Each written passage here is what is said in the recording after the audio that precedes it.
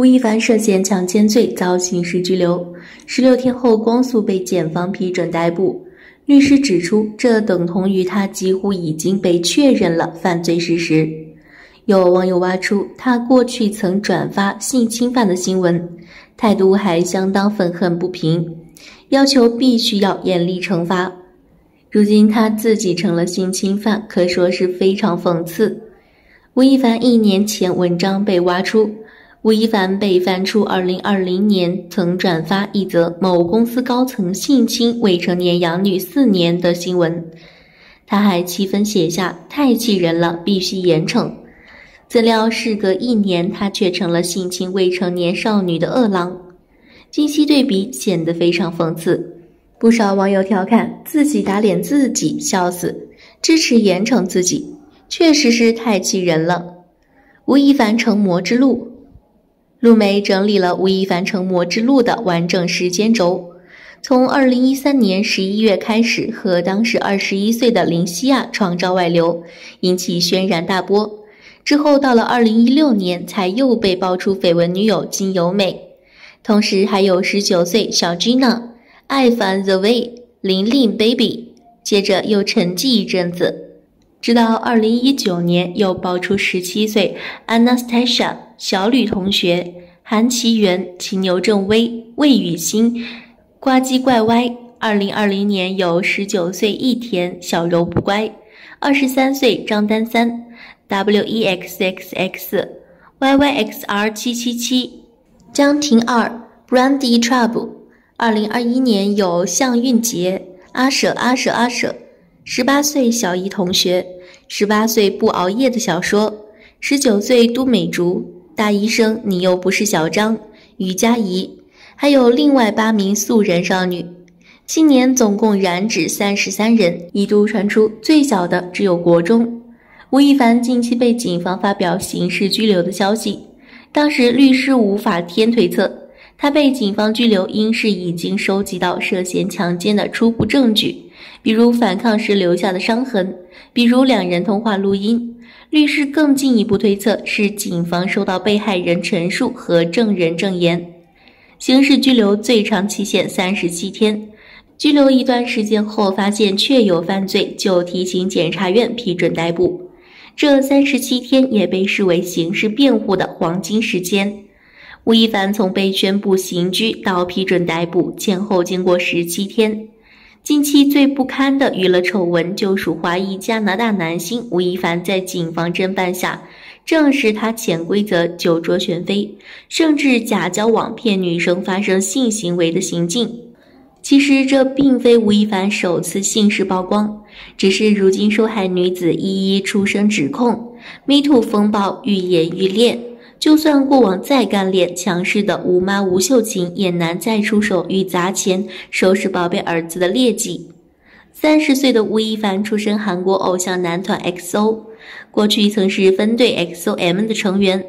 只是随着他与鹿晗、黄子韬相继离开，与尚未退团同在发展的张艺兴并称归国四子。他们娱乐产值惊人，没啥代表作的吴亦凡更成为各大精品争邀合作的时尚宠儿。只是这两个月来，吴亦凡的桃色风暴愈演愈烈。最新消息传出，吴亦凡派人强拉嫩妹上车，受害者录口供时竟揭露他二十女四男的选妃趴。至此可见，吴亦凡劣迹一件件的逐渐曝光。而且一切其实都与他的妈妈吴秀琴惯性宠溺，以及身边其他大龄男女有所关系。圈内有个说法，吴亦凡会出事，宠溺他的妈妈吴秀琴也有责任。据读者出面向《镜周刊》揭露，吴亦凡的妈妈吴秀琴过往如何插手吴亦凡的人生，结果失控铺就了儿子的成魔之路。回顾早年，吴秀琴与老公婚变，于是决定在吴亦凡十岁时把他送去加拿大读书。在此之前，吴亦凡爸妈各忙各的，没给过他什么家庭温暖。为了能在加拿大维持生活，吴秀琴破釜沉舟的先把生意处理完毕，才飞去陪伴吴亦凡长大。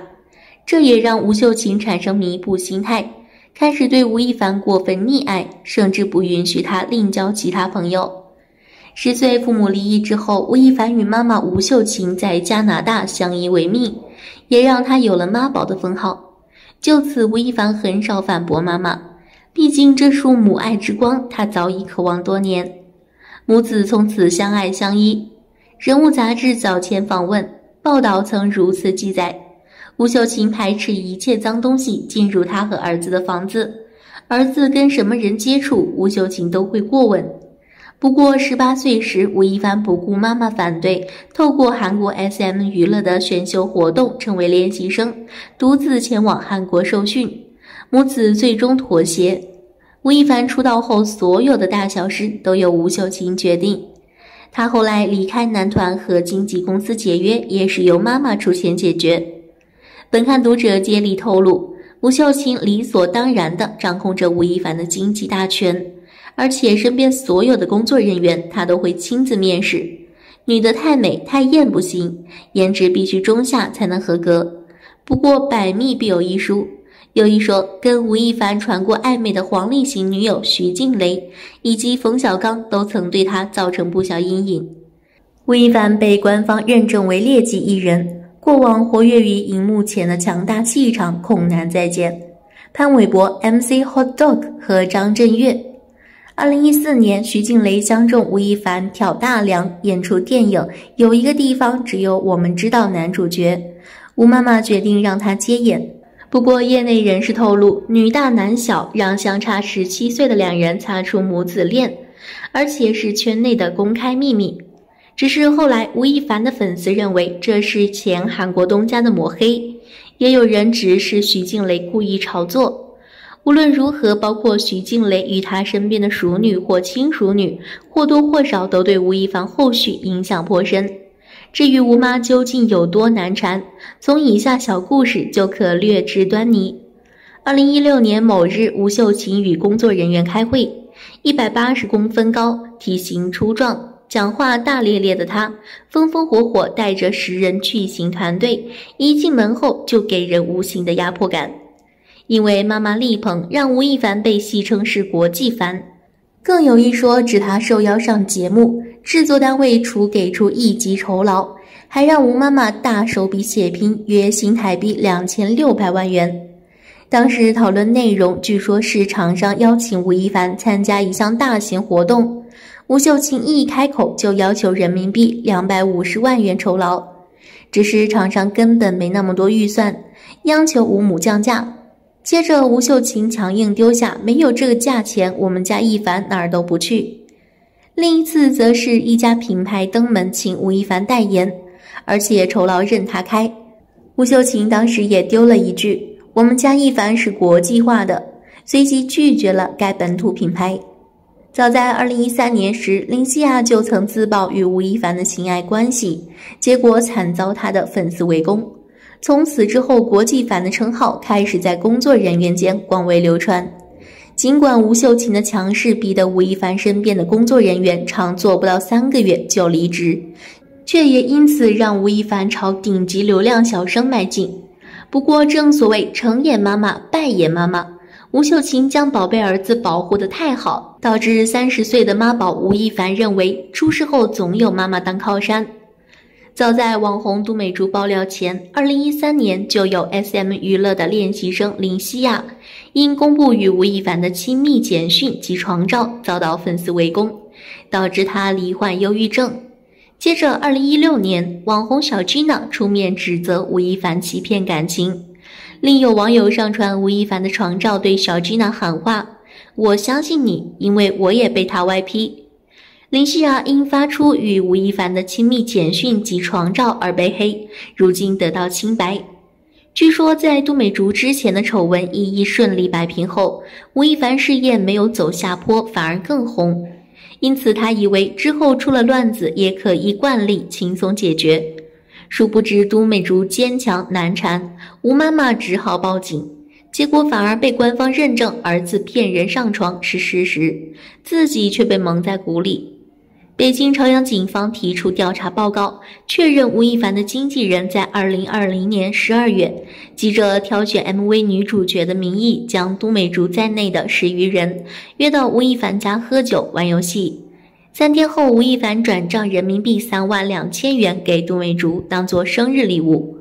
网红杜美竹爆料，吴亦凡用 MV 选女主角，工作室牵人的方式，把女孩骗去玩酒桌游戏、灌酒。微信来往四个月后，杜美竹遭受吴亦凡置之不理的冷暴力，从此抑郁很久。消息经过杜美竹的友人抖出后，此后她就像其他被吴亦凡沾上边的女孩一样，遭到残忍的网络霸凌。杜美竹只好还原更多细节，包括自己被没收手机，并玩起了灌酒游戏。好了，以上是本期的内容。如果您喜欢我们的节目，欢迎订阅、点赞、转发，感谢大家的支持。